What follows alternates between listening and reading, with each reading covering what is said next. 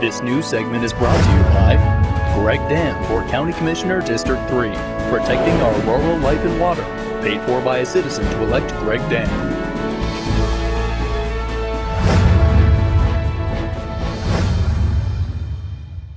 Recently, the Disabled American Veterans held a convention. Several local veterans have accepted prominent positions in the organization representing our area. We have representation as first junior vice, that's Bill Dolan. Uh, no, I'm sorry, that's Riddell Samuel. He is senior vice commander at the state level.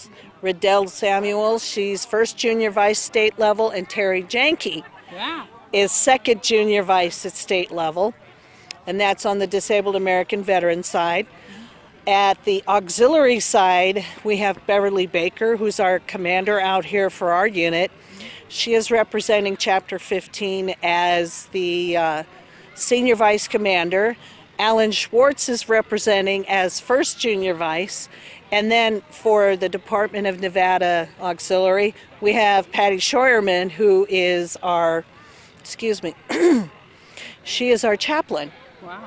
So this means a lot for us, doesn't it? And Chapter 15 is like the smallest uh, uh, chapter in the state of Nevada, right?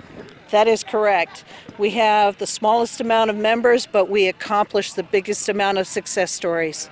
That's because we are so active, right? We are active and we've got a wonderful community.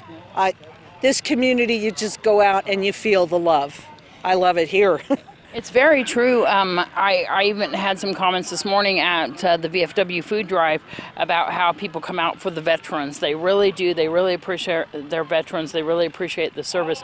You guys are so active in so many things in the community. But we also had two small businesses that were even acknowledged in the in the um, convention too. yes, that's true. Um, the GI USA store, they got recognized as Small Business Employer of the Year through the DAV. And we had Home Depot as Large Business Employer. And the support from both of these organizations has been fantastic.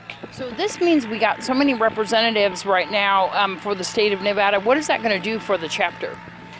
it's going to put us out on the mark as you know being successful and as a place to go if you need help we're finding now that a lot of people they'll go and do a search and our chapter comes up first and foremost as far as the one to talk to The Summer Olympic Games in Rio de Janeiro should be postponed or moved in the name of public health due to the widening Zika outbreak in Brazil. More than 100 prominent doctors and professors said today in an open letter to the World Health Organization. The letter shows a growing gap within the medical field on what to do about the Games. They are concerned about the impact on public health. The World Health Organization had no immediate reaction to Friday's letter. The International Olympic Committee has said it has no plans to cancel or postpone the Games. A 49 year old Pennsylvania woman showed the presence of a rare kind of E. coli infection, the first known case of its kind in the United States. It's a superbug that is resistant to many antibiotics, even colistin, which doctors use as a last resort when other antibiotics fail. There is no indication of how the bacteria got into the woman's system. She has not traveled outside the United States within the past five months. The woman was treated and released and has had no other medical problems related to the bacteria. The CDC continues to investigate. Each year in the United States, at least 2 million people become infected with other kinds of bacteria that can't be beaten with most antibiotics, and at least 23,000 people die each year as a result of those infections. Well, it's the 10th year for the High Desert Shorts Film Festival. They switched things up a bit this year. Here's Linda Cass and Rodney Camacho with more information. We've got uh, two locations. We've grown that much. Uh, the feature films, how many feature films do we have? We'll be showing 10 feature films at Lakeside Casino. Wow. Fantastic. All weekend long? The feature films will be Friday and Saturday, starting at 1 p.m. Last showing is at 9, both Friday and Saturday. And of course, short movies all, all, week, all weekend long. And then you have the awards on Sunday, right? Yes, we do. Awards on Sunday at uh, 6 o'clock. And then after that, we have our after party, our wrap party, and we just celebrate and crash. Films from all over the world, right? Oh, yes. We got films from uh, 12 countries, I believe it was, all the way from Iran to Russia. We're here in the um, Nugget Event Center, but of course, you like you said, Lakeside too as well. So people can buy an all-day ticket for all of these films. Can they still do that? No, we cut that off as of today because uh, it- what happens is when today is over, then the, the pass isn't as it, it loses Value, its value. yeah. And so, but the price is we've kept it the same for the entire 10 years, three dollars per session. So that's fantastic. So they can come in, and you ha- you have a schedule, don't you? So that people can just buy that whole session, like drama, comedies. Yes. Yes, exactly. It'll be a- for the short films, it is a block of films, about five to seven films, $3, or one feature film for $3. What a good deal.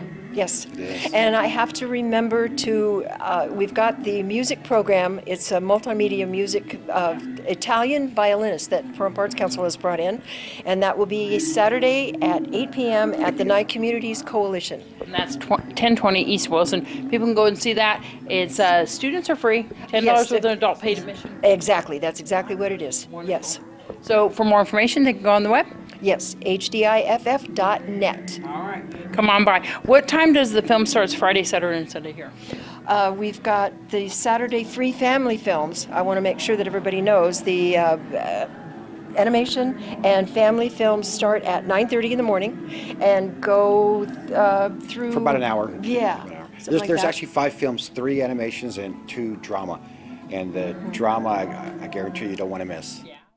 And those short films will be shown at the Pahrump Nugget. The full length feature films will be at Lakeside, including the feature film Do Not Disturb, which is made locally here. James Horton's film from Preferred RV and our own Jason Koblenz helped edit it. And that's at 7 p.m. on Saturday night. A talented musician from New Orleans participated in the annual Bluegrass Festival, courtesy of County Commissioner Dan Schinhofen.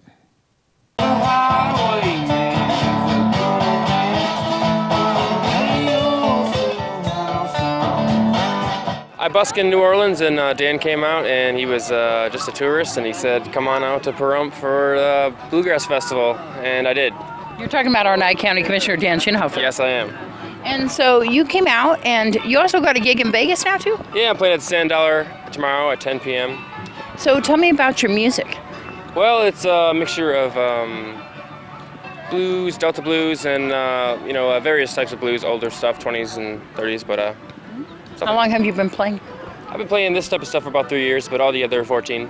14. You're originally from Brooklyn? No, uh, outside of Buffalo, Lockport. Oh, uh, okay, outside of Buffalo. Why did you decide to move to New Orleans? Um, I just wanted to move somewhere else for a little while. Music. Yep. How are you liking Nevada? Have you been here before? This is my first time. I like it. I like it out here. How do you like Pahrump? I like Pahrump. It's uh, beautiful Yeah. mountains and what have you. So are you having fun watching the other musicians? Yeah, yeah. Do you have any releases? Um, I got something that I'm gonna record in uh, Tennessee uh, sometime this year.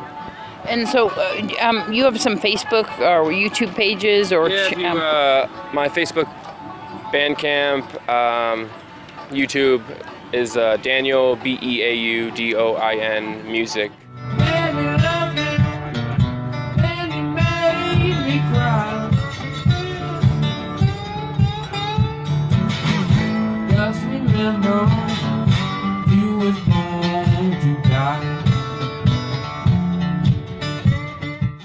Be back in just a moment with more news.